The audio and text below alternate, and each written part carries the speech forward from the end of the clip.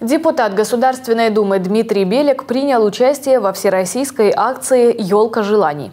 В понедельник, 28 декабря, ребята, которые записали свои сокровенные мечты на новогодних шарах в волонтерском штабе «Мы вместе», получили долгожданные подарки. Так девочка Юля получила скейтборд. Я этим увлекаюсь уже сколько? Ну, где-то, не знаю, полгода. Вот, мне это нравится. Просила скейтборд? Ну на, включаем. Гоняем, видишь, все желания исполняются. Желания детей, которые под Новый год исполнил депутат Государственной Думы, были самыми разнообразными.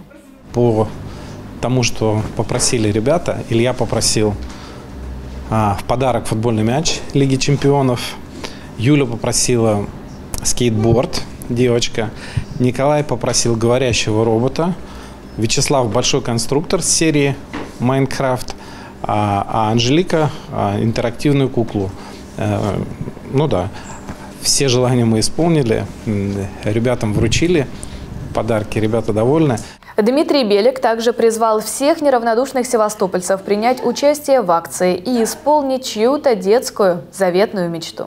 Конечно, все, все желающие могут принять участие. Я вижу большое количество народу и на федеральном уровне и политики, и люди участвуют в этом и в Севастополе. И Михаил Владимирович Развожаев, наш губернатор, показал своим личным примером участие. Поэтому, я думаю, все неравнодушные могут откликнуться и, пожалуйста, приходите.